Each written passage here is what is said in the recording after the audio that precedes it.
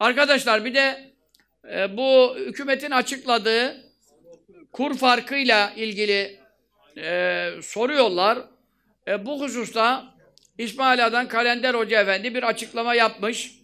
E, özetle faizli bankalarda şu anda bu şey e, beyan edildiği için faizli bankalara da Müslümanın para yatırması caiz olmadığından dolayı şu anda buna caiz denmiyor. Ancak finans kurumları meselesi, finans kurumlarındaki fetva da değişmiş. Kaç sene evvel biz değiştik diyorlar. Ben daha yeni vakıf oldum. Şöyle, finans kurumları meselesinde önüne gelen yatırsın, kar payı alsın, yesin o bolluk yok. Yani orada da muamelat eskisi gibi olmadığından diyorlar. İlk çıkışlarında mesela sana 100 liraya 2 lira kar payı veriyordu. Bu kar payını neye göre veriyorduk? Geçen ayki kazandığı havuza göre. Geçen aydaki oraya da kayıt yazmışlarmış. Ne demişler? Efendim e, geçen ay bunu kazandık.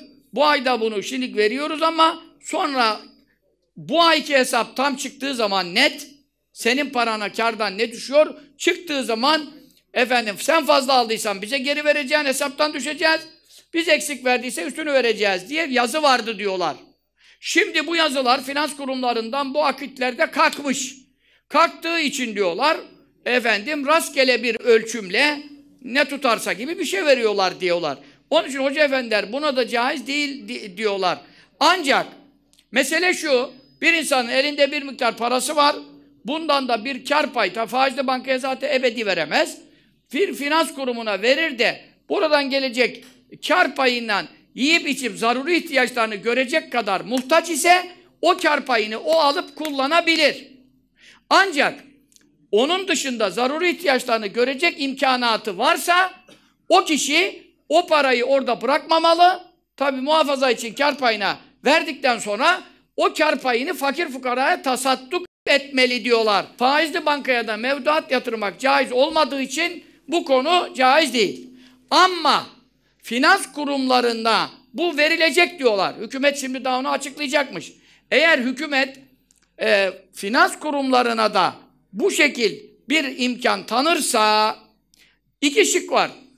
E, vadeli mevduata yatırana verecek diyorlar. Şimdi vadeli mevduata TL yatırmayıp da zaten param orada kalsın bir kasa tuttum koydum içine ona zaten karışmıyor. O finans kurumu da onu kefil de olmuyor yani yangın, deprem bilmem ne kasanda ne vardıysa bana ne diyor o gidiyor. Ama sen bu riskleri göze almamak için memleket yel, sel, zelde her taraf afat memleketi. Böyle bir durumdan dolayı mevduata finans kurumları için konuşuyorum. Mevduata koyabilirsin. Koyduğunda da iki şık var. Muhtaç değilsen kar payını sadaka verirsin, bırakmayacaksın orada. Muhtaç isen kendin kar payına zaruretlerini giderebilirsin. Herkes muhtaç mı değil mi kendi bilir. Fetvayı buna göre veriyorlar.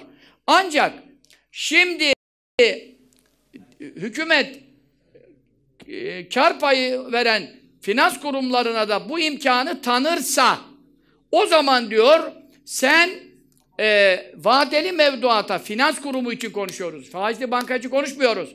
Finans kurumuna bunu koyabilirsin, koyarsın.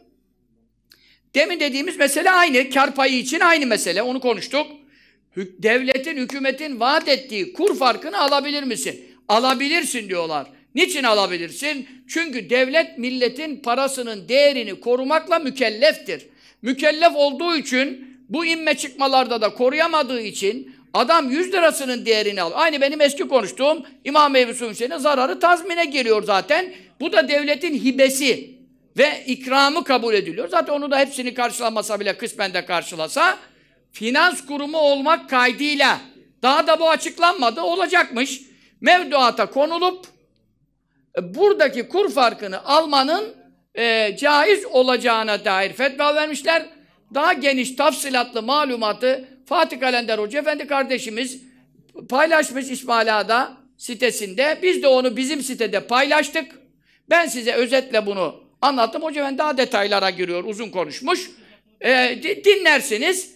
Ona göre fetvayı merak edenler e, haktan, helaldan ayrılmazsınız. Allah Teala hayırlı helal rızıklarla merzuk eylesin. Şüpheli rızıklardan, haramlardan cümlemizi muhafaza eylesin.